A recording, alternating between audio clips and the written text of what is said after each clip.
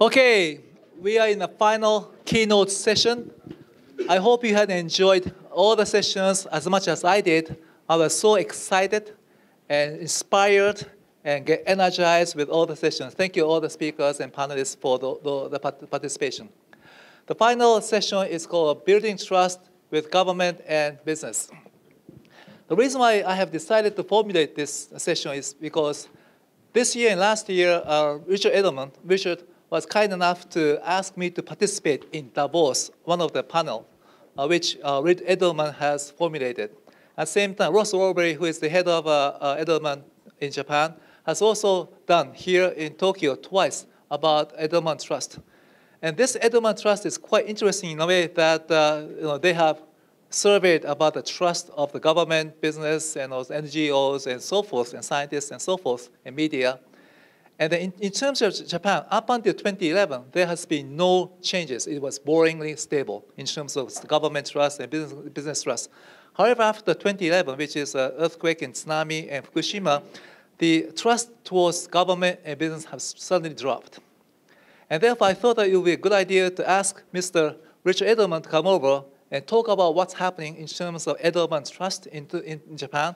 At the same time, asking uh, Shiozaki-san, who is a, former uh, chief secretary and uh, chief cabinet secretary under a previous uh, Abe administration, to be representing politicians and government, and also asking uh, Mr. Ken Shibusawa to be representing the government uh, corporate sector because his uh, ancestor was the founder of Japan capitalism, and he's very famous. At the same time, he himself is a very famous uh, business persons and working as an NGO person. And I'd like to hand over to Nik Gowing to be moderating this session, and uh, it's gonna, the floor is going to be all yours. So Nik, it's all yours. Thank you, Yoshi. Um, this is the third time I've been involved in something from uh, for G1 and for uh, Globis. I've been very struck uh, two years on plus uh, after uh, 311 of just how profound this issue of trust in uh, business and government remains. And it's probably my perception, we'll hear the metrics in a moment from Edelman, and remi I remind you that there is still a profound problem, in my view, of hearing a lot of the interjections that we've heard today. Let me just give you a sense of what some people uh, among you have been saying from the platform. Um, we have to take care of the TEPCO situation and clear the reputation. A lot that bureaucrats try to cover. We need whistleblowers and we need a Mr. Snowden in, uh, in our public life here. Um, on the nuclear industry, we must tell the truth. It's not that what people are saying is lies, but they're not telling the people about it. And this is a profound challenge for crisis management anywhere in the world at any point.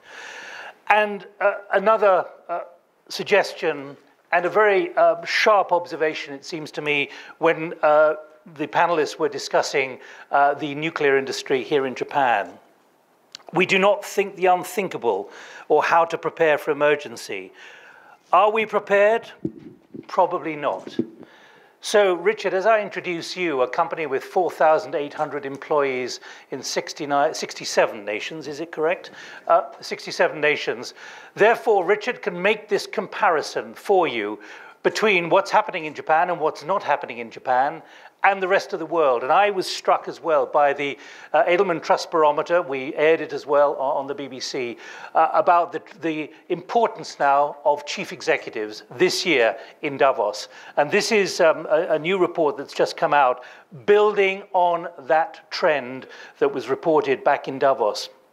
Let me just remind you of one incident which sticks in my mind from what was happening on the 27th of March two years ago, and I've got it here, when TEPCO said radiation levels are 10 million times higher than normal. The next day, the TEPCO spokesman, uh, said that number is not credible. We are very sorry. Whereupon the Chief Cabinet Secretary, Yukio Edano, said, that is absolutely unforgivable. I put to you, is that the kind of thing, were there to be a similar emergency, which would happen again, whether it be on the business side or the government side. I say that as an observer from afar of what has been happening here and the damage that continues to be done even after the Prime Minister's guarantees in Buenos Aires to the IOC a few days ago. Richard, the floor is yours. Thank you. You need to hold a microphone, yes. On now? Good. I keep knocking my sign over. That's a bad sign. Um, so let me just um, try to frame this for you. Um, we've been doing this survey for 13 years. We do it in 26 countries. Uh, we talk to 31,000 people, um, and we look at people who are both opinion formers, college plus educated, you know, four or five media a day, and the mass public. And so it's a pretty good sense of the world. In the time that we have done this study, we have never seen a more complete and absolute destruction of trust than happened at Fukushima. Japan was, as Nik said, a solidly middle ground country. It wasn't in the optimistic camp, but it certainly wasn't in the pessimist camp. So it went from, you know, solid middle to equivalent to Russia. Now that should give you some idea of a wonderful demise of, of trust. Um, let me give you some of the boxcar numbers. Um, an academic went from 70% trusted to 32%. A chief executive went from 67% to 24. An NGO rep went from 48 to 18. A regular employee went from 59 to 16. And a government official went from 63% to 8. 8% trust in government officials after Fukushima. Now, Trust in industries. Unexpectedly, of course, the energy industry went from 75% trusted, or the second most trusted, to 29%. Um, media went from 54% to 33%. So, those are the two least trusted industries in Japan today energy and media. Um, and then across the board, newspapers, TV, radio, magazines all lost substantial trust. So, um, what we observe, though, is a year on, and this data is now nine months old, just put in perspective before Abe. Um, institutions have regained about half of the trust that was lost, give or take. Um, but the spokespeople have not, the individuals have not. And so the gap between trust in institutions and trust in their leaders is massive. It's the biggest we see anywhere around the world. 40 or 50 points. And so, again, a chief executive is at 22% trust. That's the lowest of anywhere around the world. And in a world that doesn't trust CEOs, Japan trusts CEOs the least. Government officials and regulators, 15% trust. Again, lowest of anywhere around the world. We're including countries like Argentina in this study. So just so you know which company you're in. Now, also, as to what builds trust in institutions in Japan, it's completely changed since Fukushima. Fukushima for you was the effective equivalent of the financial crisis for the US or for the UK. So, in effect, today, what matters most in building trust for a corporation is takes responsible actions to address an issue or a crisis. Stated importance 52%, performance 10%. 42 point gap. Second important thing has transparent and open business practices. 48% expectation, 8% delivery. These are boxcar numbers. The point I'm trying to make to you is this is not simply a government issue. The stain of Fukushima has spread across business from the halls of TEPCO the expectation of business has completely changed. It used to be you make money, you have a charismatic CEO, you kind of make nice new products, and you're trusted. Not anymore, folks, not since Fukushima. The world has flipped on its head. Okay, so a few important um, macro observations. One, dispersion of authority. It used to be that authority in Japan and many other markets was vertical, top down, from the mountain Moses delivered to the people. It's just been Yom Kippur for those of you Jews in the audience. Um, New York, that gets a big laugh, but there are not that many of you. You were in synagogue with me. I saw you because um, I was here. Um, but um, the important point is the failure of the vertical information flow to deliver during the crisis of Fukushima meant that the horizontal had to substitute for it. The peer to peer communication, the importance of the man from Chernobyl, who was, in fact, the credible voice because he actually went. He went to Fukushima, as opposed to a lot of the mainstream media who was reporting from Tokyo exactly what they were told by the company and the government. Um, so the horizontal has now actually eclipsed in some way the vertical um, because it's based on personal observation, it's based on experience, and it's also uninhibited. It, it is as reported, as they say. Not that it's necessarily credible, um, as, because it doesn't have sourcing, but it is part of a picture.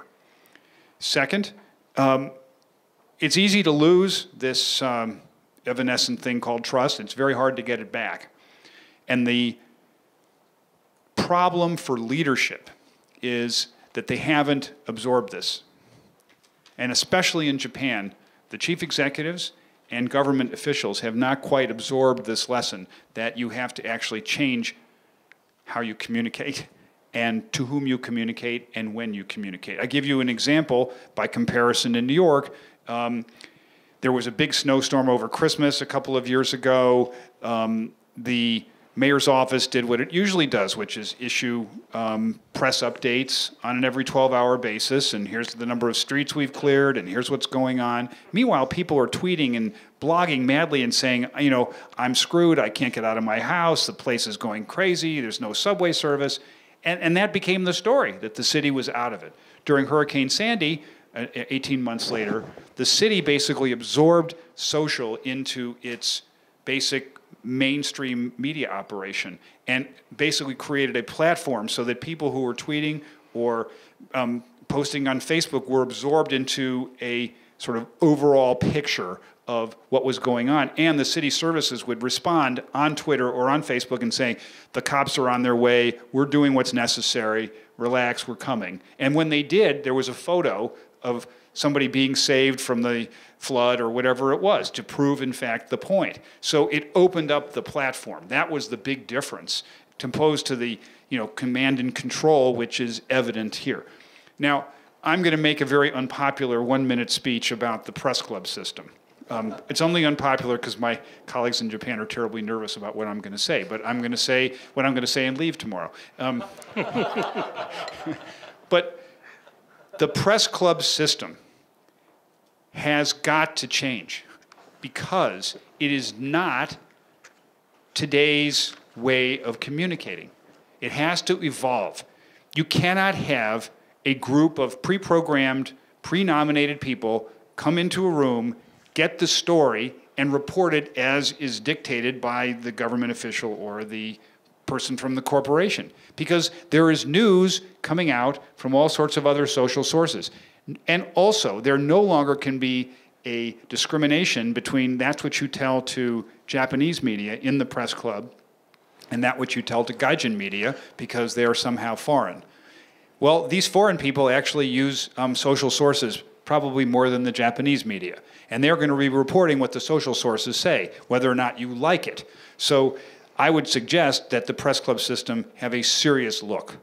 Was that subtle enough, Ross? Okay. What's your real message then?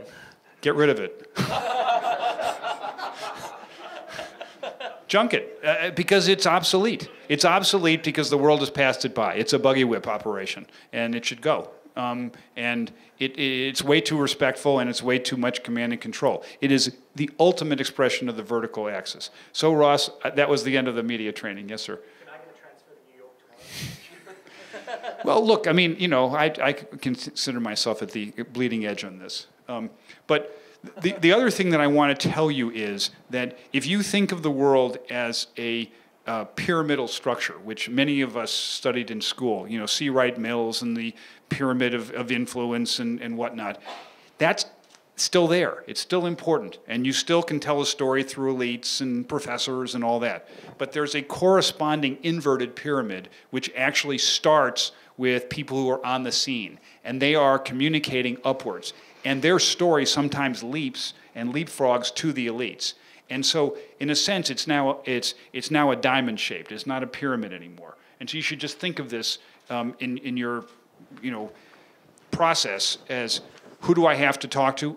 Employees, NGOs, I've got to talk to community members. Yes, the regulators. Yes, your investors. Yes, the mainstream media, but there are all these other people. So, you know, communicate this way and this way is sort of my message. So, Nik, does that kick us off well enough? Indeed, yes. Um, this is about governance and executive behavior. And do please, as we did so successfully in the first session, if you're thinking ideas at the moment, just stick them down in a couple of lines or whatever uh, and put them as a message to me because it allows me to work out what all of you are thinking. We can come to questions as well. But, Richard, just broaden it, can you, to what you said in the Davos um, trust barometer about particularly the role now of chief executives and how that has changed because it, this is not unique to Japan, but it's about the executive culture, the executive assumptions of what they have to do in the public space when there are difficulties and what they don't do.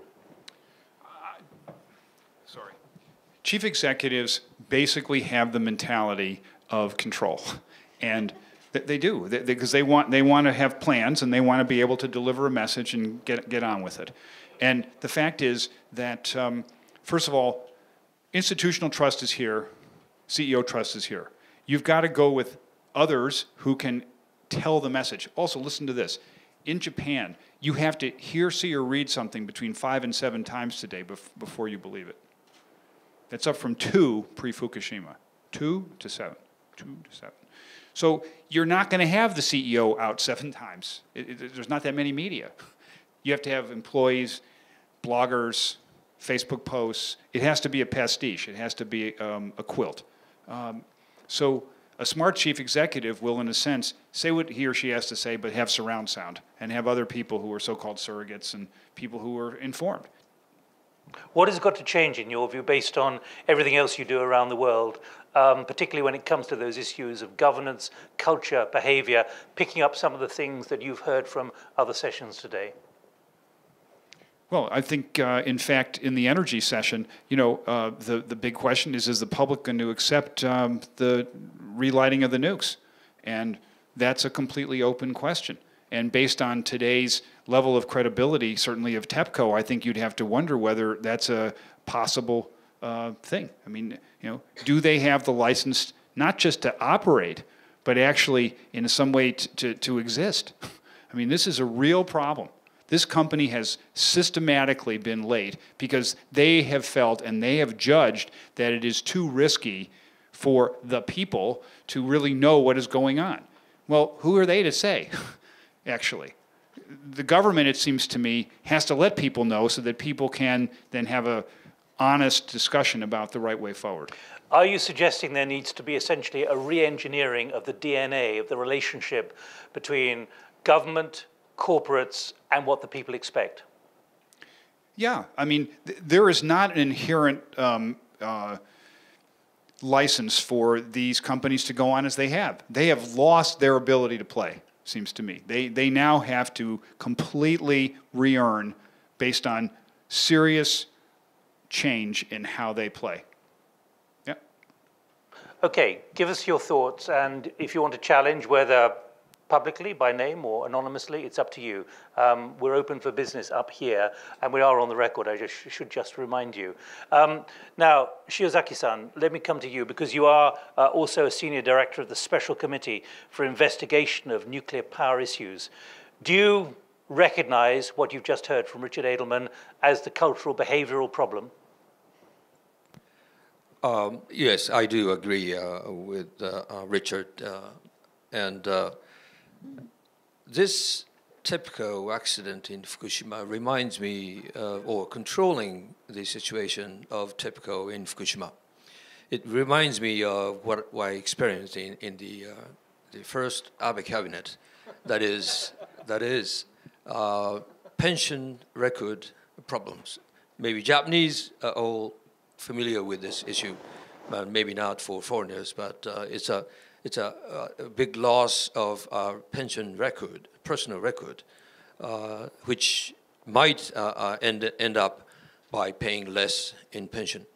And that was really a serious problem. And uh, I think that's one of the, or, or I would say, the main reason why we lost the two, uh, two, 2007 upper house election at the time. We do have many other problems like a suicide of one of the ministers and uh, Miss, uh, uh, well,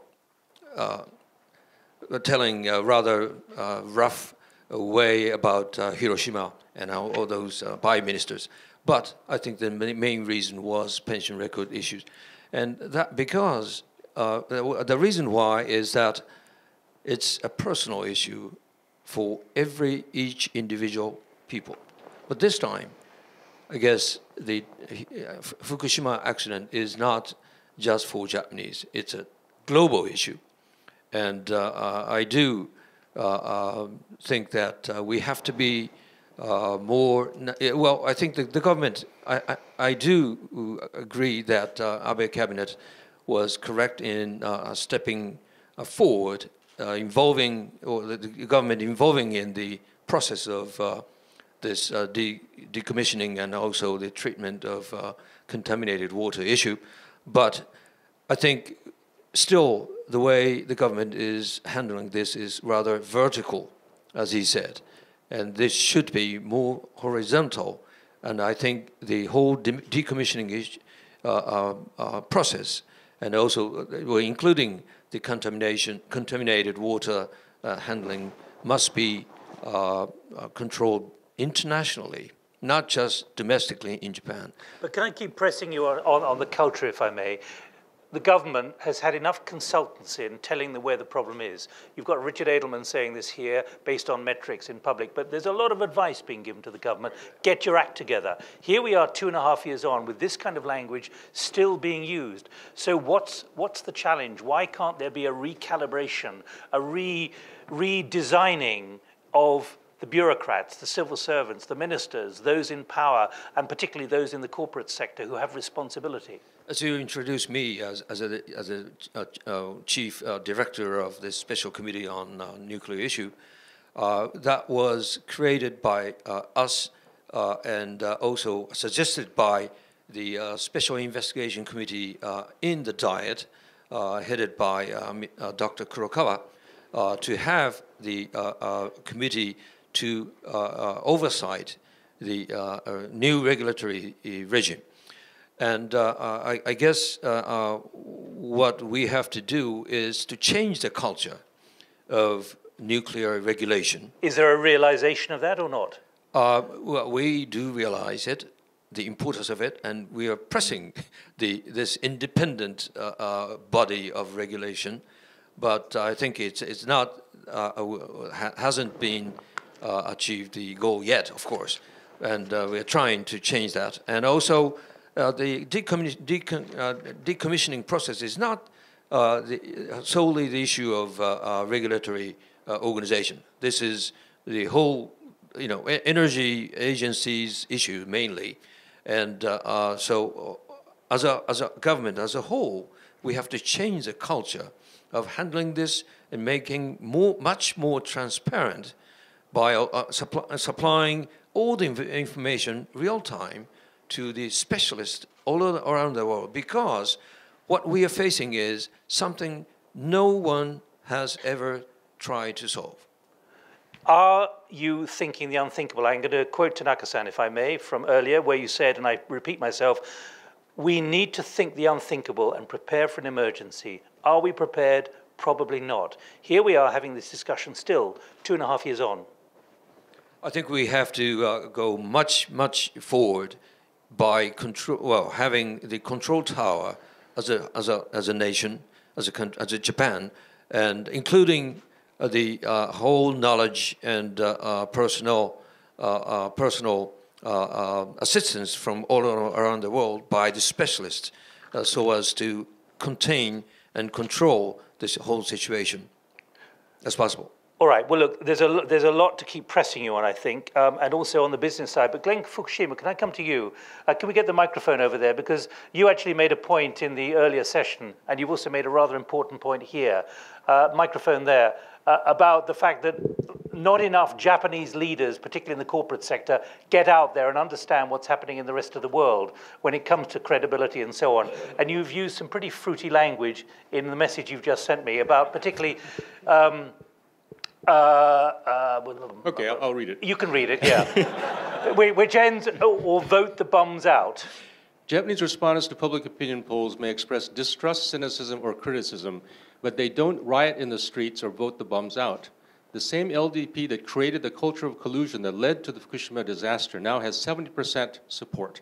The real problem is that Japanese voters are too undemanding of their political leaders, and the leaders are not held accountable. No easy solution.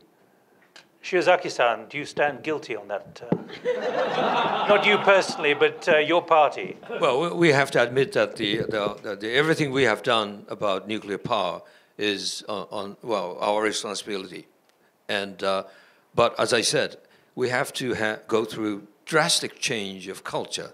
Well, he's calling it the culture of collusion, the LDP culture of collusion that led to the Fukushima disaster. Well, the culture of LDP is also changing, I would say, from collusion to, to uh, what? To uh, uh, more open-minded, and uh, um, I think we we have to uh, change the culture of. Well, I think in a way, bureaucrats and and and, uh, and also politicians are too confident without ground that we can manage it. I think we have to be most more humble to accept that the limit of our ability to control and uh, uh, handle, the manage the all the problems. Richard, just a data point, if I can, before I go to Shibusawa-san. What's what's your uh, impression? Is that the LDP uh, and those in power are, if you like, living on borrowed time when it comes to this issue? Microphone. Microphone. Sorry. When you have, uh, um, we asked the question do you trust government leaders to tell you the truth in a difficult situation? And 20% say yes. Uh, you have a problem. uh, that's it. You know, can't be more blunt. Yes, we have a. There are no alternatives. Well, but there are alternatives in the sense that they are trying to fix themselves. I mean, look at the way uh, the prime minister is communicating himself. You know, he calls in. Um, for people who've had, uh, uh, you know, problems in their lives, whatever. He's photoed with them. He, he's a very active participant on Facebook. He's trying to lead from the front, and that's a good beginning, seems to me. He has to drag a lot of people along with him who are a little nervous about all that. But what do you find in when you're being paid as a consultant to change culture, whether in a government or in a corporate, about how easy it is to change the behavior in a very strict uh, stovepipe organization where DNA is so ingrained? You know, Nik, I would say that was probably the best descriptor of Unilever before Paul Polman got there. I mean, it was almost a, a government bureaucracy as a company. And he got there and he left. He said, "We're going to double the sales and keep our resource use flat." He had a very clear objective, and then people said, "Oh, he's serious." And so, I think somehow TEPCO's got to get to this level of a chief executive. I don't know who's running the place. But. All right, Shibusawa-san, let me come to you representing business here, and I hope I hear other voices as well. Do you, by and large, accept um, the criticism, accusation that really you've got to change your act and how you do it as senior executives in the C-suite, in the boardroom? Thanks very much. Um, it's an honor to voice the opinion of the corporate sector as an NPO um, on this uh, topic of trust. Actually, I had a practice run last night uh, with my teenage son. Right, we had a little mishap, so we had a little conversation, um, and I said, you know, do you know what the character for trust is in Japanese? And you probably don't, so I'll tell you. It's it's it's a uh, character for person, and it's a character for speaking. So, so trust is actually what you say. And so the problem that we have in Japan right now with our corporations, with our government leaders, is what they say isn't, you know, they say a lot of different things, and it doesn't really uh, reflect reality or, or more importantly, the action, right? And so, so I think that, that that's the key point. Um, we talk about culture a lot, you know, um, and yeah, it's different, but it's sort of a it, it, it, it, sort of it puts it, puts Japan in a box, and you know you can't you can't change culture you know overnight. Um, but um, what strikes me as so interesting is like, let's say if you did a barometer on if you dropped your wallet in a city,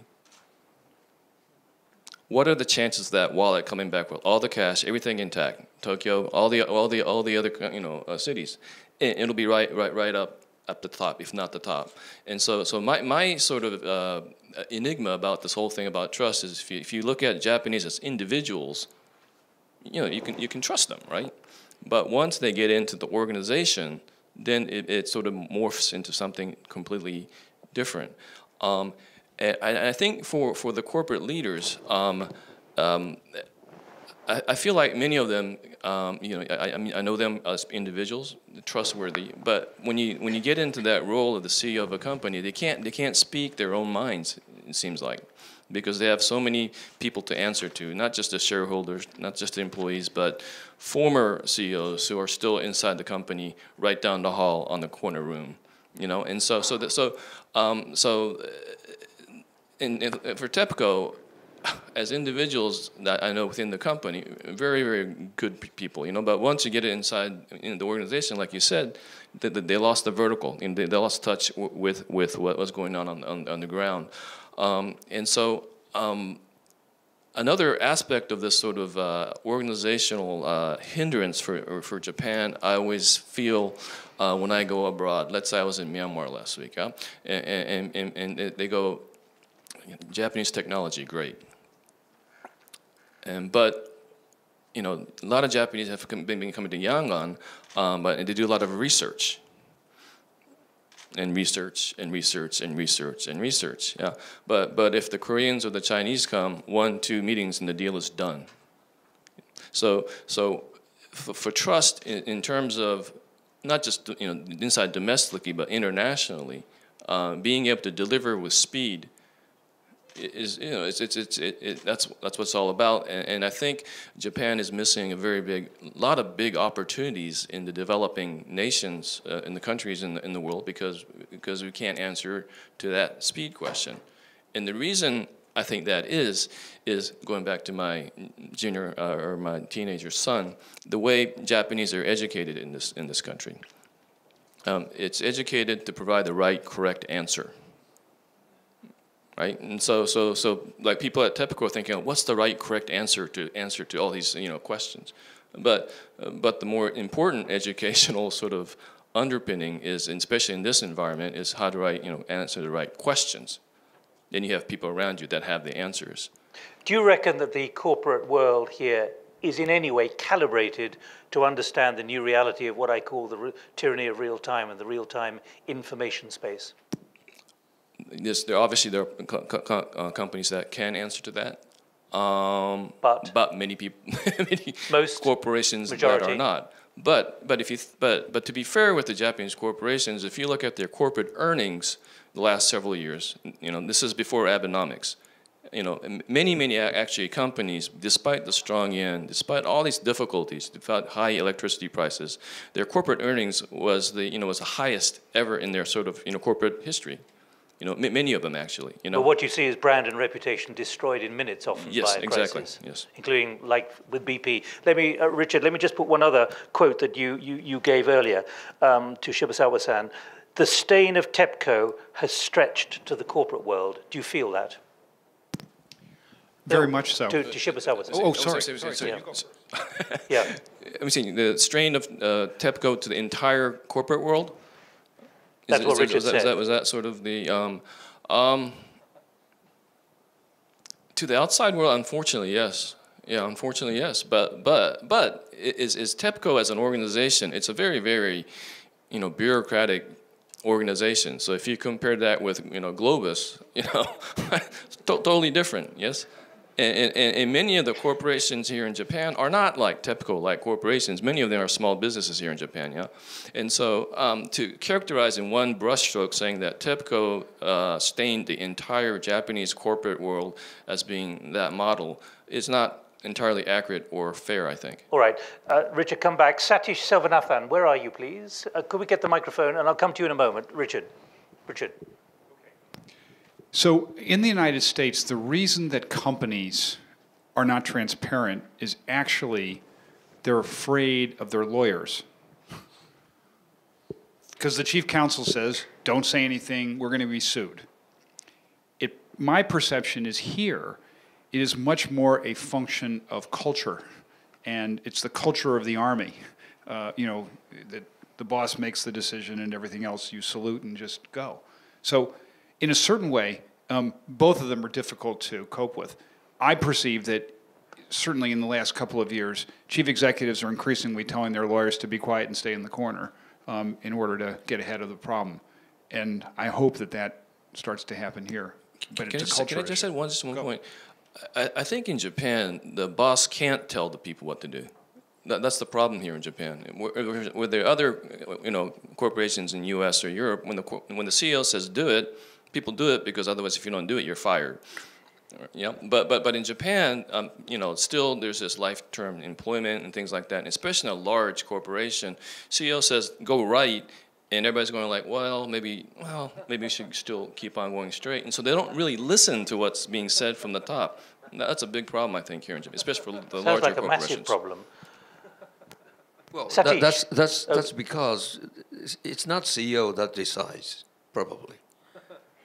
Somewhere else, the decision is made, oftentimes. That's part of part of the problem of Japanese corporate governance, I guess. Can you trace who has made the decision within the, the corporation? Pardon me? Can you track who did make that decision? Uh, maybe not. Very weird uh, uh, way of uh, making decisions, I guess. But Richard, Richard, in what you've been analysing, the, the accountability essentially of the C-suite, the chief executive, the board, you can't just hide a decision like that somewhere in the structure, can you? No, it has to be why we're doing it, how we came to this point, how we're going to prove it. You know, third party validation, if you can partner with a non governmental organization or a university, you need all these things to line up. And it's got to be quick. And so if it's this kind of amorphous mass and we don't know where it- the decision's made, that's pretty hopeless for, for How would you calibrate the cost and the price if this is now not now confronted? I mean, for corporate Japan, this is uh, again, you know, you may again disagree with me, but I, I think in a in a perception sense, all of Japanese companies are now seen slightly askance. You know, you sort of go, can they really, you know, move at the pace of business? You know, that's a problem. Shibusawa-san. Yeah, it is a problem, but but but at the same time, it, it that- that is a perception, and I agree with that. But but there are, I think, companies that can move much much quicker, and I think part of it is actually, I think we talked a little bit about governance, um, but um, we need we need more governance of outside directors in Japanese corporations, no doubt, no doubt. You know, and the resistance to many of these larger Japanese corporations was that if you have outsiders, we can't make decisions quickly. But um, but you know, but but I'm thinking we need to have outside directors that are senior, uh, the, the the directors of the companies to ask the right questions, as I mentioned before. Right? You need to have different views and say what what what what's going on here, um, and, and the and the and the company has to answer to that but there's been a lack lack of that, right? But it's it's opening up. Shiozaki-san, would you say that's accepted by the government now, that that is a, an urgent regulatory uh, expectation? Uh, I, th- I- I think it's going to be uh, one of the focal point of uh, uh, the legislation which is going to be handed out to the uh, extra- extraordinary session in autumn. And uh, uh, DPJ government uh, made a legislation for in- introducing so-called independent directors, but it's not a strict requirement for companies to introduce them. But I think we, we, we, we have to change the corporate culture in order to have um, more, much more momentum in Abenomics. And I'm thinking about, well, actually, in the, in the, in the package of growth strategy in, uh, released in July, oh, June, uh, uh, of the, by the government, uh, included the, the intention to just hand it out the same uh, legislation from DPJ days, but I, we are thinking from LDP side to go a lot more forward in order to require them to introduce in order to change. And there's a the culture. recognition of the urgency, is there? Yeah. All right, let me get a few more views. Satish, can we get the microphone to Carl Kay as well? Satish, because you've just, no, keep the microphone, but um, you've just been involved in a turnaround uh, with, with a broken down company, but you've got a particular observation on the trust barometer within companies. Yeah, guys, I think um, many people in this part of the world probably not even trusting their own CEOs from within the firm. Um, I started my career in the US. I'm used to a certain way of working. I worked there 12 years. You answer the question that's given to you and you answer it the right way. In this part of the world, you answer the question with what the CEO wants you to answer with. And if you keep doing that, the firm's just going to go uh, uh, completely haywire. I have run the turnaround of a firm in Malaysia, which was victim to, to just this thing. Investments were made that were bad because the CEO wanted to make them. There was no accountability, there was no trust, there was no reason. How do we change this? I don't know. It probably is something uh, cultural. But you make a point of CEOs sticking their head in the sand. CEOs preference. will put their head in the sand.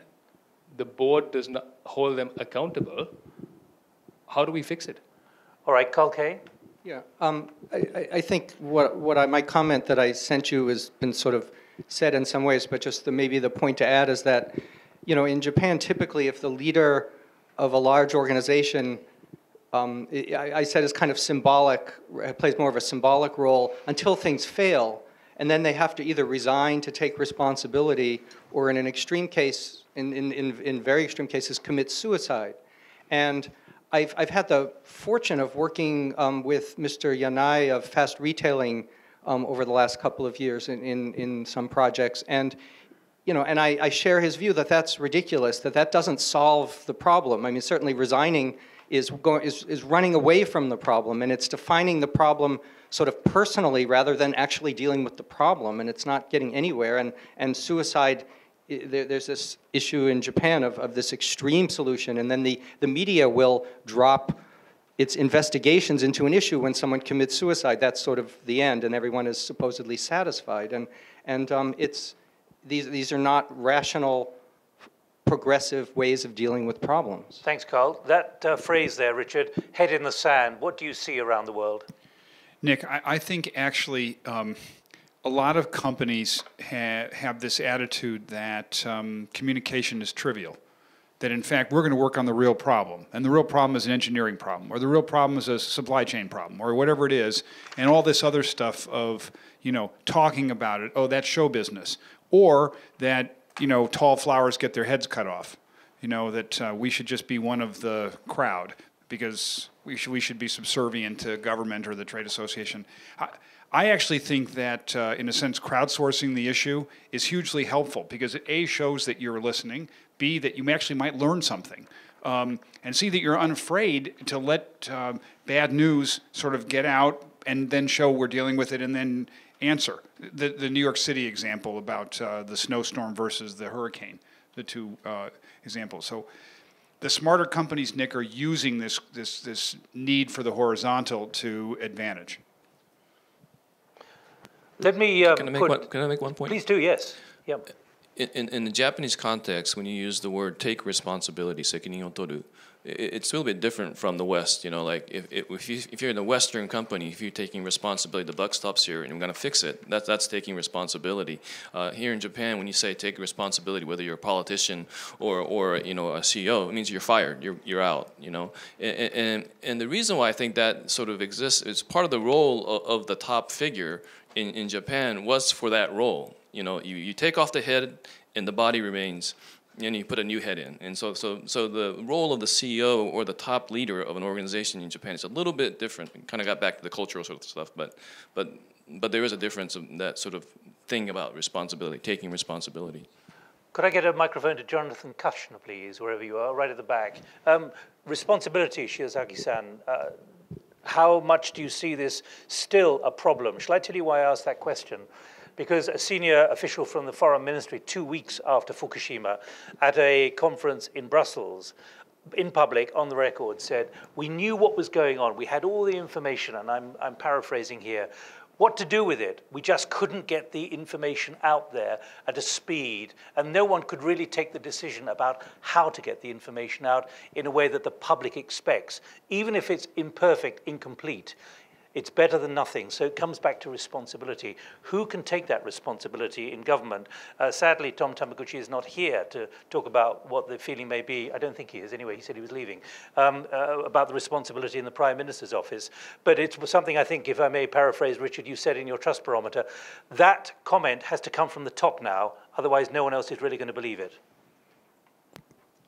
Well, in, in the case of uh, this accident in Fukushima, I think we the, uh, it taught us that uh, uh, we cannot rely on the, the old bureaucracy of uh, first information flow and also decision making at, at, the same time, and partly, as I said, because uh, well, the main reason is that uh, what's happening is mo mostly beyond the capability of regular bureaucracies that are right in the center of decision-making process or vertical uh, decision-making process.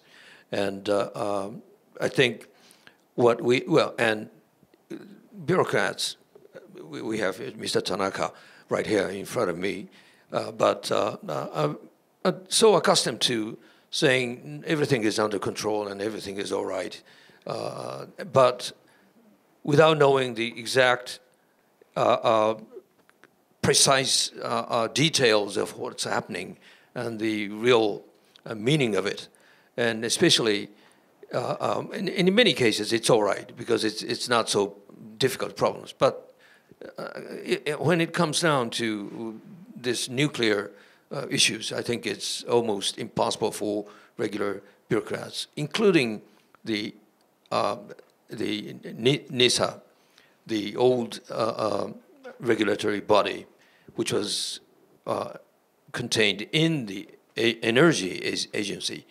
And so right now, what we have to do is change the, well, back to the basics of um, uh, governance system, but with the different set of uh, input, uh, uh not just from bureaucracy itself, and uh, familiar scholars that always give us good information about something serious.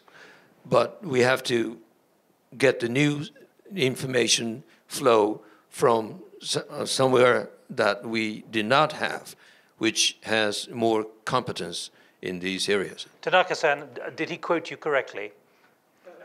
I just want to give you a right to reply, just to be sure uh, that he did quote you correctly, given that you were at the International Atomic Energy, uh, uh, yeah, Energy well, Agency, rather, in, right. in, in, Paris okay. at the time. Yeah, before I, was very good friend with uh, Shiozaki sensei. Bef and, well, before uh, today? And, and, no, no, no. And, and even we tried very hard to change the Japanese financial market with help, of, help from him. And we did great job of doing lots of regulations hitting the Ministry of Finance. So this kind of thing, change is possible. When? But a culture of no problem. Well, no, culture no problem is when the government officials are instructed to say that, they will say that. And unfortunately, these days, in the recent couple of years, the government officials are trained or ordered by the politics. It's not your job to decide. You will just prosecute what you are told. And unfortunately, METI official or Ministry of Foreign Affairs guys didn't play enough role to convince the public and uh, politicians to do the right thing as a professional. So in that sense, I agree that the government officials didn't play enough role for the convincing DPJ of restarting nuclear power or convincing DPJ that nationalization of Senkaku Island is a terrible idea. Right. Well, Another thing, but some bureaucracy did good thing. I don't like Ministry of Finance. I hate them, but but they did right thing of raising consumption tax and introducing the social security uh, reform by convincing Liberal Democratic Party and Democratic Party of Japan. So for the country, they did right thing.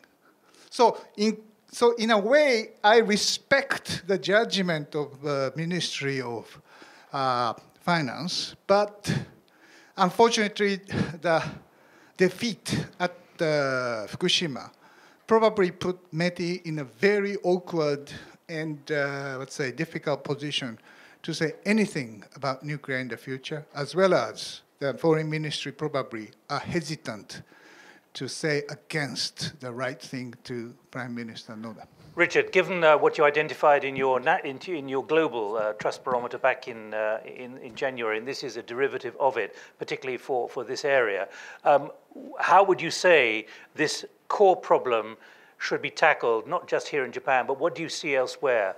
The authoritarian nature of it coming down from the board or from the minister's office, compared to the potential for inclusivity and challenging and get some kind of consensus within an organization of how best to pitch things to maintain trust with the public in a time of difficulty or crisis. Well, let me just uh, recall to you that um, the CEO of BP, Tony Hayward, um, after the big spill in the Gulf, thought that he was doing the right thing by going and walking the beach and expressing his, you know, deep, deep uh, sorrow for what had happened and the commitment of the corporation and all that. But he was not the engineer able to actually talk about the solution. And he was terribly overtired and said something incredibly stupid about wanting to get his real life back. Um, and he was pictured also on a yacht sailing uh, two weeks later in wherever he was in the North Sea. So um, I think the best approach, Nick, in these sorts of situations is set up your crisis team. Make sure that you've got tendrils into the organization. Make sure that you're not just listening to your top executives. You've got to actually have people on the ground whom you talk to directly and get your feedback, but also listen to what's on social media and then let that guide your behavior somewhat. What about the imperative to get information and then to share it?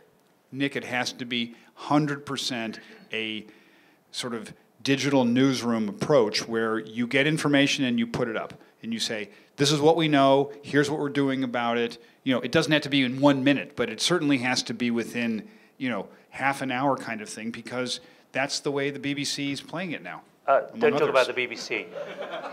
I'm not here. That was my little make sure he's awake there. I'm awake. Um, Jonathan, I've come, I, have come to you because you make a, a point, picking up on Shibusawa-san's a point about education, about where the potential is, picking up as well on what Richard has just said. Yeah, no, absolutely. I, I, I thought that the, um, the point that Shibusawa-san uh, made earlier about education is really, really striking. And so long as in Japan people are not taught to think for themselves uh, and to question authority, um, it's going to be very, very difficult to, to see lasting change. Um, I think in this session, the morning, in the morning session today, also there was a, a question about what should be in the, in the fourth arrow of Abenomics. Um, I, I clearly think that educational policy needs to be on the agenda. Um, but you're not really hearing about it. It's kind of on the fringes of the issue, but it's not really hearing, you're not hearing about it yet as an urgent issue. Um, and while we're talking about education and, and, communication, particularly in an international sense, it's also pretty uh, urgent that English education needs to improve in Japan. And it's, it's not just a matter of uh, learning by rote and learning the grammar. Clearly, as we have today, seen there's many Japanese here that can communicate very eloquently on issues. And those people need to also be out in the, in, in, and convincing the rest of Japanese society of the importance of communicating in English with the outside world. Greg Story, you make a point. Can I? Can I? Please do. Yes, I just want to get the microphone to Greg Story, please. Where are you, Greg? Please, down here about management systems. Uh, about uh, uh, what you said, fourth arrow. Uh, actually, educational reform is included in the third arrow already, especially uh, as Shibusawa-san said, uh, Japanese have been, or kids have been trained to get to the so-called right, correct solution. And it is symbolized in the, uh, in the way uh, universities uh, um, accept uh, students. They all are decided by the scores from the top. So how many points you get.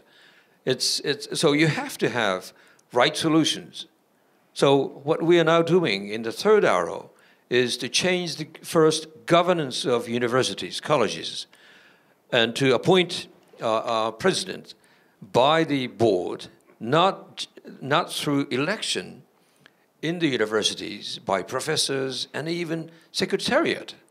And it's absurd.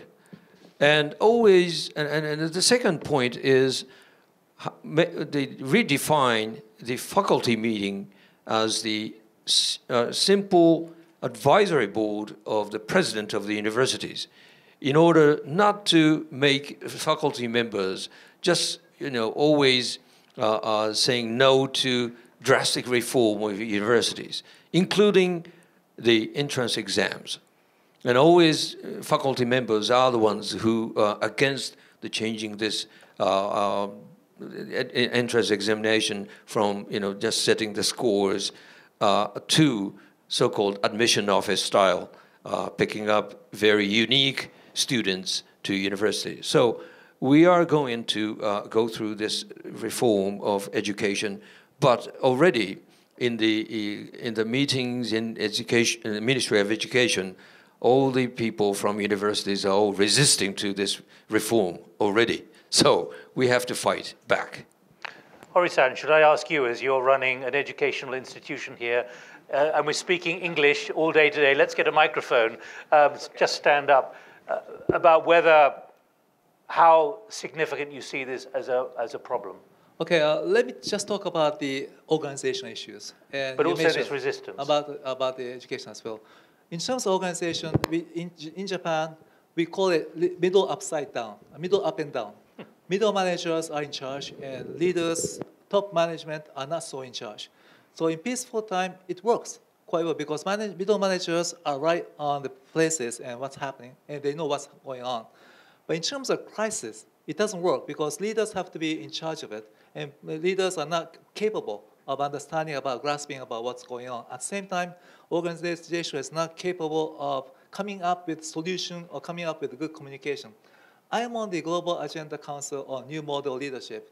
And we used to, we had this discussion because we, everybody is having tablets and mobile phones, smartphones, and they know about what's going on in Fukushima, but Prime Minister has to come back to the podium and to the PR people in about two or three hours.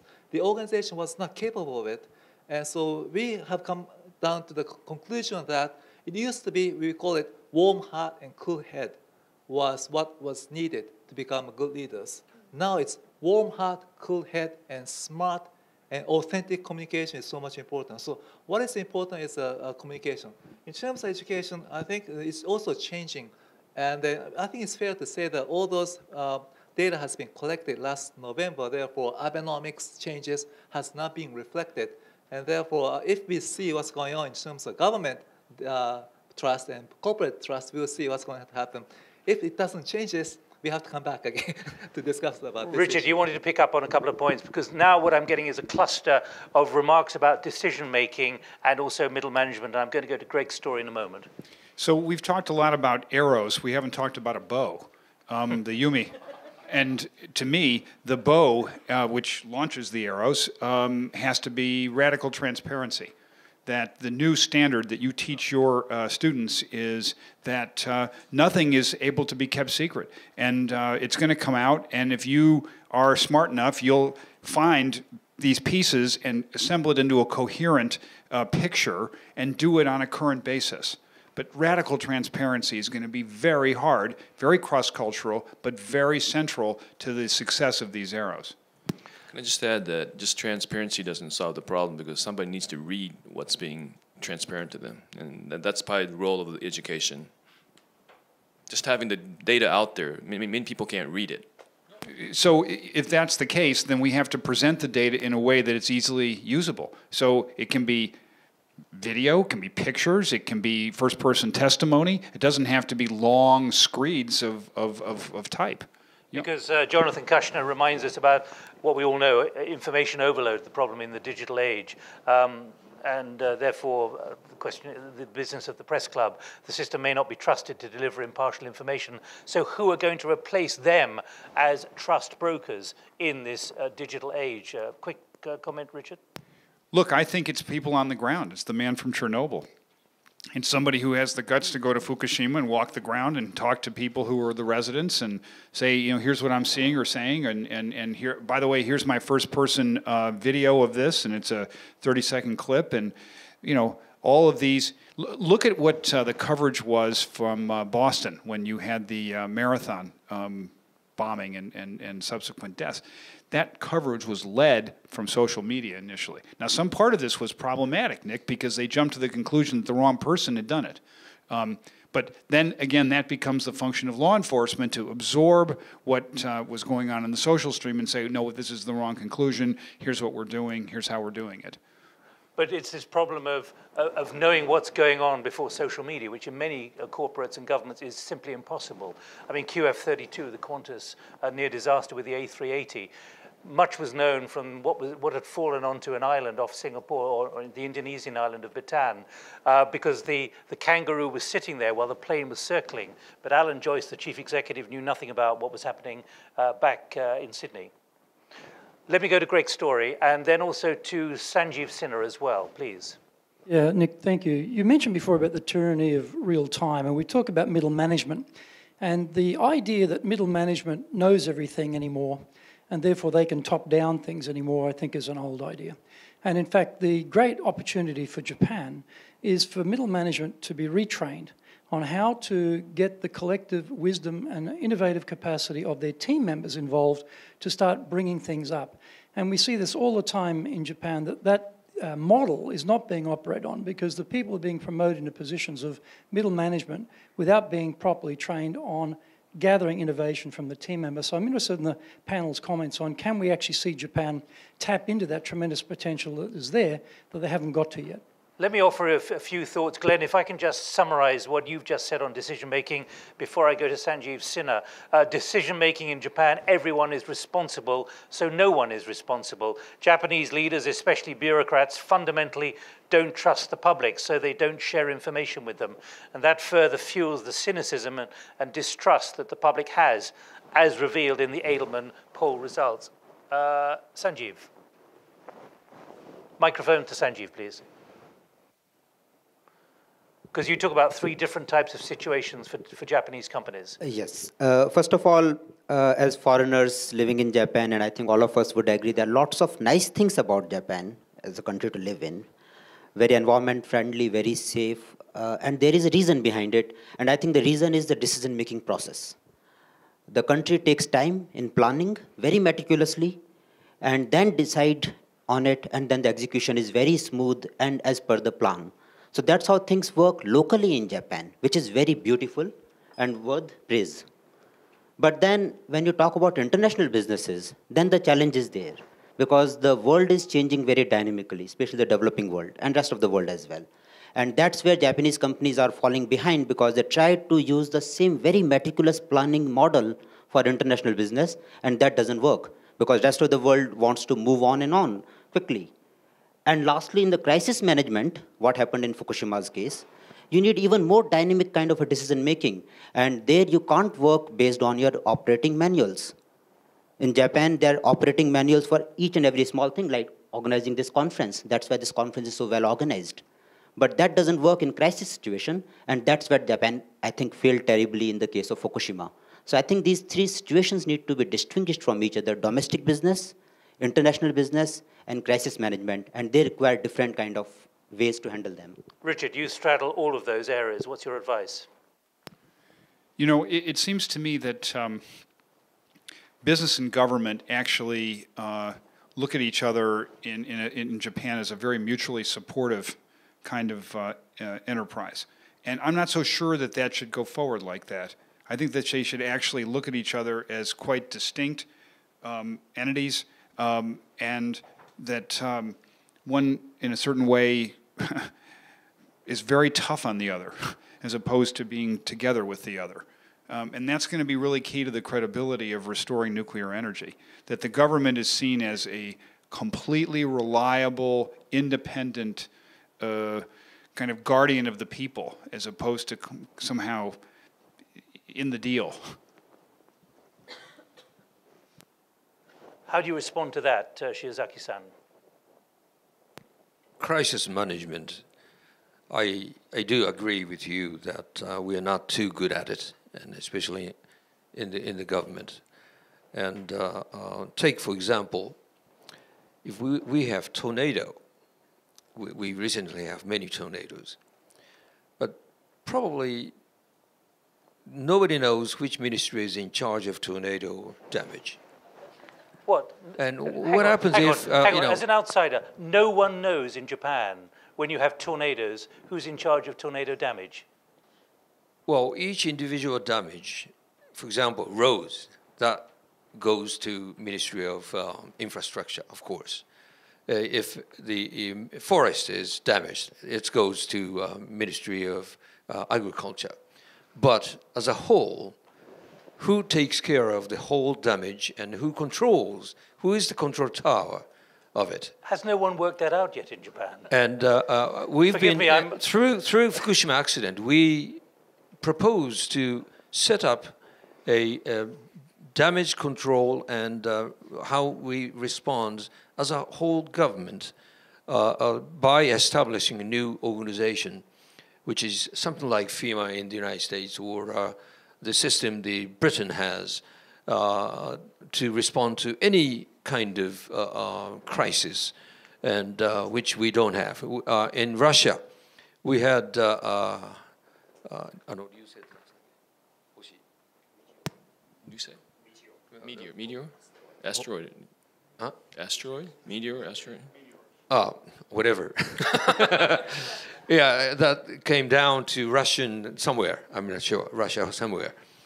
And there was, we, we found out that, there was a ministry uh, for emergency, emergency department or whatever you call it, but we don't have it.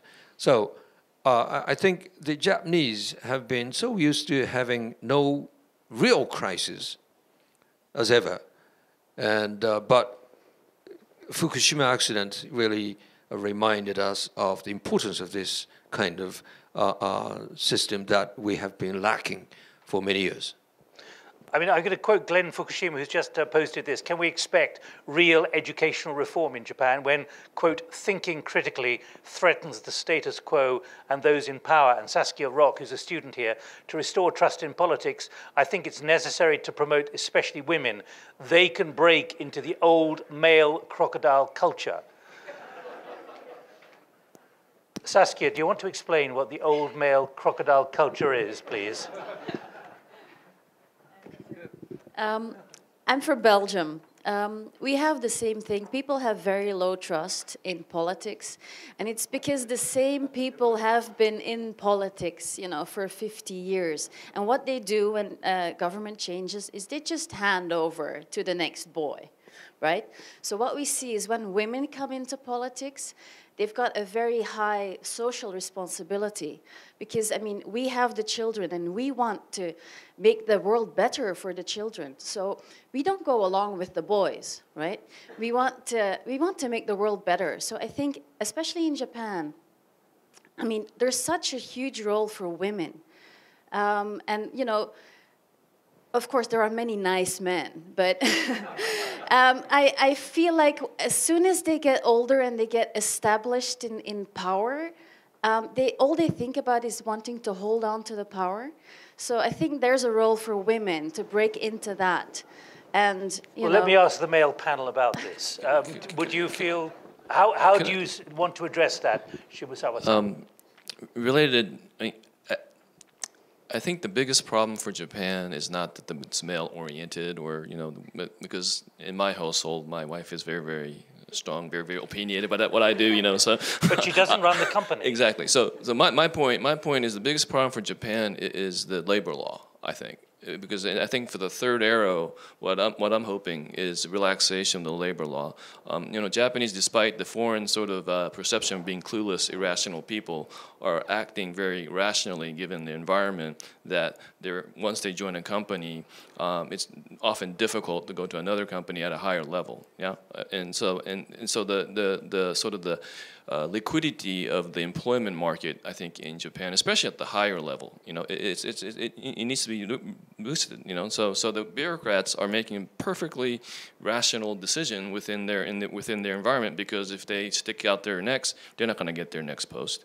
And so they're, they're, they're providing the right answer within the organization, but as an entire, you know, well-being of the nation, they're not asking the right questions. Um, same for women, I think, the women once, you know, once, like my wife, they, she left the, you know, the labor, or she left the, the working force to raise our children, and it's hard for her to get back in um, just because you know, a lot of the labor restriction, restrictions because and, and things like that. So um, I think what I'm hoping from the third arrow is that they really, because this is a very, very hard political, um, you know, uh, decision, I realize, but, but I think that's at the really core, core, core uh, of of the stagnation here in Japan. Uh, Richard, do you think, uh, does the Edelman Trust Barometer, does it uh, reflect gender? Do you think there's uh, substance to what we've just heard? You know, Nik, it actually doesn't do gender. It does income levels. And I think this is fascinating that the elites are much more trusting than the mass, which, which, which is counter to what you might intuit. Oh, because the elites read more media and whatever. But uh, in Japan, the uh, mass is more skeptical on nuclear, et cetera. But is about, there, the, about, but, the, uh, about getting rid of the, croco the male crocodile culture. Look, I have three daughters who are going to succeed me. I'm hoping for it. I, I'm with you. Yes. What, what's the gender uh, split in Edelman at the moment? We have about uh, 65% women, 35% men, but in management, it's more like uh, 33% are female. Okay, thanks. Nicholas Smith, uh, can I get the microphone to you because you talk about the law is an ass. Um, let me come to you, uh, and while the microphone's on its way, uh, Arishi, uh, Ariyoshi Mori, I think the difference in information will be valueless in a few decades. In such terms, all information like global problems and issues must be shared. Everyone in the world can join to solve them and get reward. Nicholas, uh, your, your uh, pickup on the ability to say the law is an ass. Why do you say that? Sure. I mean, of course, uh, where I went to school, I walked every day past a sign that says, uh, with fine disregard for the rules of football as played in his day, uh, William Webb Ellis first picked up the ball. That's to say, the rules are there to be questioned. Your boss is there to be questioned. Uh, and what's so different about the West is you can turn around to boss and say, that was a dumb idea. But where it fits in with what uh, Shibusawa-san's saying, and dare I bring in the, the sort of Judeo Christian element to it, is that I also come from a culture where it's incredibly redemptive. And if you screw up, people forgive you. Whereas here, well, obviously, the way of the warrior is death. And if you screw up, you die. So the boss is trying to defend himself all the time um, and not saying, give me your ideas. I, I would love to know because when you give me your ideas, you do my work for free for me. Shiozaki-san, do you see that as a real blockage, an obstacle, this culture here in Japan, to addressing the things that uh, Richard's Trust Barometer has exposed? Oh, I'm sorry, I, I, didn't, I didn't. Do you see what uh, Nicholas has just said uh, uh, about the price if you get it wrong, as a, the culture here, as a real obstacle to adopting the kind of flexibility that Richard has identified as necessary here in Japan? He might. He, I, I, I, would, I would say that he, he might be right. By uh, well, so in order to uh, uh, change the culture, I think uh, uh, we have to take up, take out the risk of the, the, the management to to do something that he believes. otherwise, he cannot do something new, and so. Um, I, I, I do agree. Shibusawa-san? That if you screw, basically if you screw up, then you're, you're then you're out sort of mentality. Um, in a sense, yes, because like you know, as, uh, if you try to start up a business and if you fail, then it's a big it's a big uh, minus mark. But as you know, as we all know, in venture business, uh, screwing up is a one, you know, it's a good way not to screw up the next time. Um, but I think this uh, this um, um, notion of forgiveness, though, I think I think Japanese are more forgive giving of of their CEOs and and people that actually screw up. Maybe that, that that's that's more of a problem. Richard, how do you see this fitting into what you see in your 67 offices around the world when it comes to the price of screwing up for reputation, internal promotion, and therefore a need for greater flexibility uh, being part of the significant re kind of architecting of, uh, of the system of governance within a company to learn how to respond to generate more trust for the public? Look, I think smart companies are um, setting themselves up in a way that uh, allows failure. In other words, you have an incubator at GE for, in Silicon Valley now for great new ideas. It's separated from the key lines of business. And so it's able to bring innovation in more easily. It's very hard, even in an American company, to, uh, to innovate. Microsoft, example. I mean, huge company. So it seems to me uh, you got to nurture it. Dean Hori, you should talk about this more than me, but you have to create a context, a small context in which people can sort of be the skunk works and, and, and do it. Well, can we go to a very successful skunk works? Peter, can I bring you in here? Because two angry birds have arrived from Rovio in Finland. And I should tell you, um, Peter and I shared a platform in Finland last year, two years ago, and he said, You're all stuffy. You're all looking as if you're dressed up for a corporate conference, and I'm in wearing that. So at the end of the conference, I went out and bought red kit, and I interviewed him at the end in red uh, to match him. I also did the same at the conference in Finland in Helsinki at the beginning of July to make the continuity. Sadly, Peter, I didn't know you were going to be here today, but I don't have a tie. But as you're as you're listening to, to Richard, particularly hearing about the culture in Japan, big corporations, well established. The new innovative corporations, you're a new innovative corporation. Risk and making errors is part of your success to create Angry Birds. And how many do you employ now? 720. Tell us what your, your reflection is. But uh, actually, I didn't know that I was going to be here either, so I just flew in uh, this morning and uh, actually you, you know where you've come to. I mean, you. you yeah, I. I know, I know, and actually, uh, we kind of like just uh, kind of like invited ourselves here, and that's how we do things at Rovio. So, so uh, really happy to be here, and actually great to listen to the uh, discussion because I think that uh, uh, you know I loved when I heard uh, education being brought up because I think education is absolutely like key if you want to kind of create a new Japan, new environment here.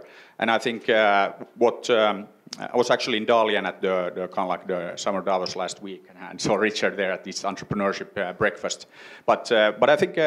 Uh, it, it's really interesting. Okay, we're from a small country, but we're actually like the closest neighbor of Japan in Europe. so you know, so we're like kind of close, but uh, very similar problems. I mean, we used to have this company called Nokia, and then you know, like stuff happened.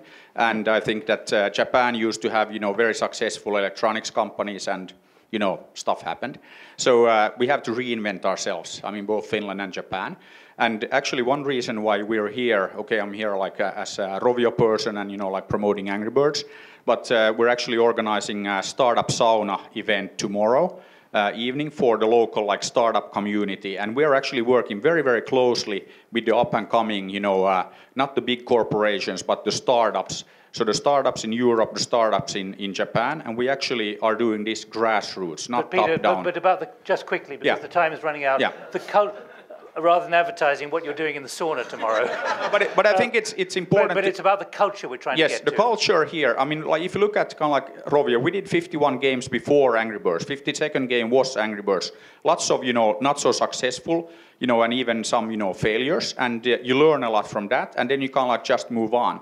And I think that. Uh, you know, uh, that's kind of like what is needed. It's all about the attitude. And I always kind of like jokingly say that it's easy for us because at Rovio we have a company full of people who think uh, they can walk on water.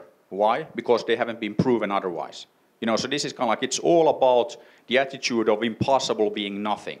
And I th- uh, it's the exact same thing I see when I talk to startups here in Japan. So on the grassroots level, it's actually very, very healthy. The young guys, you know, they speak English and they, uh, they are actually uh, very much kind of like looking at the world, you know, like startups everywhere. And I think that the future of kind of like the Japanese economy is also with these guys. And, and that's actually, you know, like talking to the government here, you know, that's what you need to include in like economics and, and all of that, that you, you really need to get these guys involved.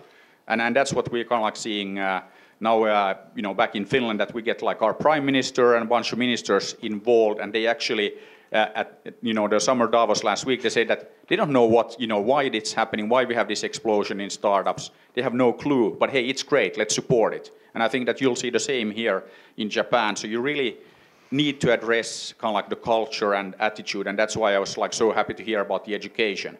But there's no price to failure in Angry Birds or in Rovio. No, but I I think that uh, we actually celebrate the failure, and I mean, like we learn from our failures. And, and I always in Asia say that you know, yes, you might lose face, but it's not like physical, you know, so it doesn't hurt really. Richard, we're into the last five minutes, by the way. It's really not about risk, though. This Fukushima mess is because I think the chief executive of TEPCO doesn't necessarily recognize the responsibility to the broader set of stakeholders. It is a responsibility to the shareholders, a need to work with government, and that's it. And uh, so you have to see that your job is to be good for society, not just good for making money. And you make money by being good for society. I know you guys believe that deeply. But for me, um, yes, you have to be willing to stand up and get grilled by Reuters or whatever, but also to take in the social feed. And that's risky, I suppose. But the major point is have a different attitude towards the role of business, um, which is we are the change agents. We are the good force. We are not um, a force for bad, done properly. Right, let's move to, to, to closing because um, uh, Yoshi has to uh, make some final remarks. But there's one critical question here from Steve Baldwin for uh, Shiozaki-san. Should the government nationalize TEPCO in order to regain trust? Um, actually, I have been um, asserting the importance of uh, nationalization from the outset because we could foresee that uh, it's going to be, um, well, in a really difficult situation where uh, government must take the responsibility of, of controlling the whole situation, uh, which is un, uh, unprecedented uh, on the globe. So uh, right now I'm proposing to establish something like a decommissioning authority in, in UK or similar mechanism that should bring the government the whole responsibility of uh, decommissioning and also including the, uh, uh this, uh, the control of contaminated water, which is very, very difficult to control. So I, I think we should nationalize it and take the whole responsibility by the government. Therefore, Richard, a question again from Steve Baldwin. How can TEPCO turn around its PR issues, uh, given the way it has scarred everything and the way you confirmed it created a stain right across the corporate world? Well, the first thing I would do is uh, I don't know how many um, generating facilities they had, but if it were me, I'd put up a scoreboard and say, here's when it was opened, here's how good it is. If it's not good enough, here's our commitment to fix it. Um, here's who's in charge. Here's the person you can send emails to or whatever um, to get answers about the local facility. By the way, also, we've appointed a very serious um, person who's come from government, who's an investigative type, has great environmental connections, and reports directly to the chief executive and to the chairman of the board. And that person has power over all of the operations and is responsible. Um, and be consistent about reporting out on your progress on fixing up or and you also probably have to have a good bank bad bank approach meaning that which the government takes just take and then that which is the continuing operations you know then they can be viable. But the business model issue is very serious right? Shiozaki-san is that an attractive uh, approach do you think? Well i've been pretty much involved in uh, non-performing loan issue you know and i think it's equivalent to that. And bad TEPCO, good TEPCO, that might bring a, a better situation to control everything because it, it, it, right now it's kind of, well, for the people working in TEPCO, it's like sentenced for 40 years and without any motivation to go forward. And I think we should, well, they deserve to have uh, motivation to work and motivation to raise kids and uh, uh, on everything. But now I think this situation uh, doesn't allow the people working as hard as possible in the TEPCO uh, uh, for that purpose. Shibusawa-san, let me give the, the final word to you. By the nature of those who've gathered here on a public holiday, everyone here is really very interested in these issues, but there are literally millions out there who are not party to this kind of conversation, right, but right. who are at the core of the problem uh, of trust uh, in business and uh, obviously government as well. But what kind of message can go out? And do you feel that there is a potential for traction on this issue, or will there be a conservative response of bunkering down? of getting stuck back into the same old ways. Thanks, Nik. Um, it's been a really stimulating uh, session. Um, but one thing that really sort of bothered me was that this notion of, of culture was used in this context as a liability. And, for Japan, I think it's a big, big asset. Um, and I was in the uh, Cool Japan session prior to this, and there were words coming out, keywords like extreme and playfulness.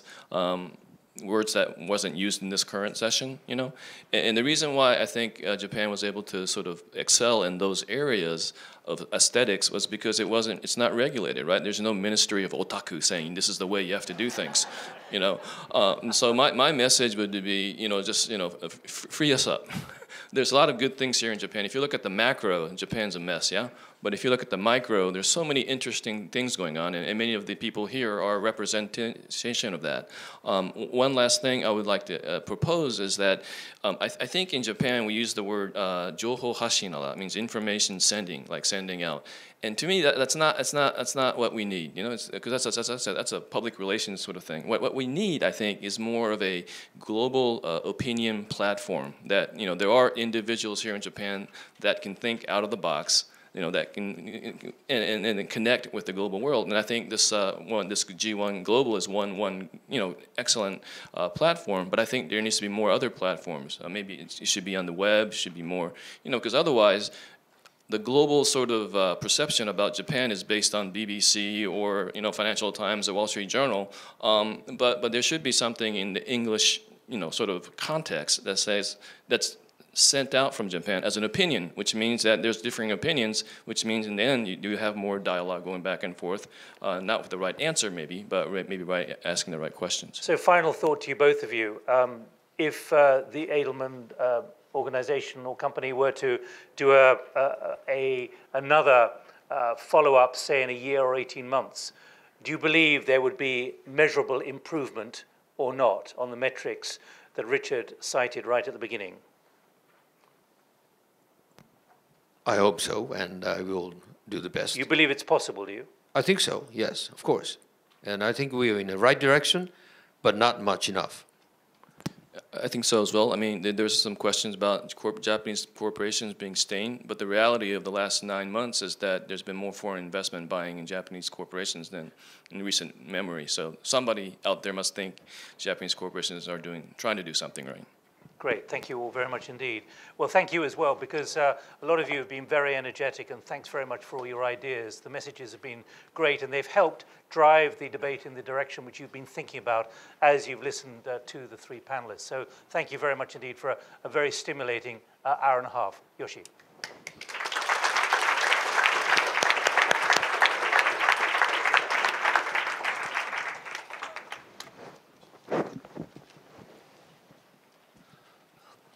Okay, this concludes third annual G1 Global Conference.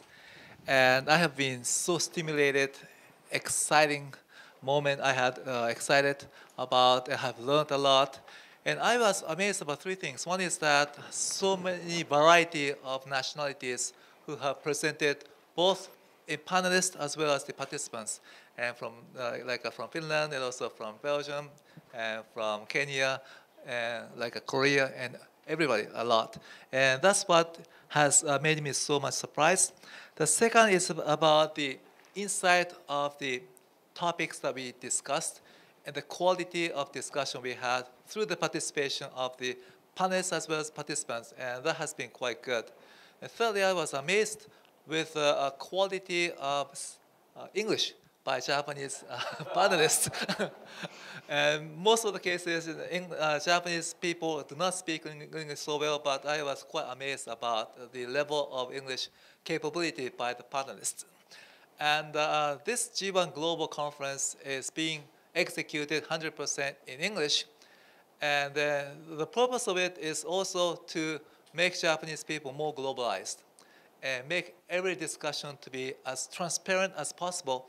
So most of the discussions we had have become on the record. It will be published on the website, and so that lots of people can learn, not only Japanese people, but also globally, whoever can understand English will be able to see what has been discussed. And this is so much important. We have been discussing this, the same kind of topics in Japanese, but we could only target to uh, and reach out to only Japanese speaking people. But here in G1 Global, it's truly global uh, uh, conferences. And I'd like to thank uh, the media sponsors and uh, like uh, Wall Street Journal, Japan Times, Fortune, Forbes, Bloomberg, and also VCube, who has transmitted through the internet all the all the pictures and through internet. And also, I'd like to thank all the participants, especially Nik Gowing, for coming over and uh, to uh, to G1 Global. I hope you come again for next year. And we've been coordinating this together with uh, Nik Gowing on this G1 Global. Moving on, we have uh, G1 executives targeting CEOs and directors of big corporations. So we'd like to convey what ha we had been discussed here to those uh, uh directors and big corporations. It will be held in November 4th. And also we're going to have a, a regional G1 summits, one in uh, G1 Kyushu, Okinawa, to be held at Fukushi, uh, uh, uh, Fukuoka City in Fukuoka City in February next year, and we're going to have a G1 summit, and we're going to have a G1 under 40, and we're going to have a G1 venture as well. So this movement will be able to become the platform for everybody to exchange ideas, meet friends, and collaborate on things, and make Japan and Asia and the world to move forward to a better places to be. So we'd like to thank you all, and we're going to have some reception, dinner reception, right around the corner. Typhoon is gone. there was a typhoon somewhere, but you know, right now it's gone. So we are gonna have a great dinner and time, and we can relax over beer. So thank you all for participation, and thank you all very much.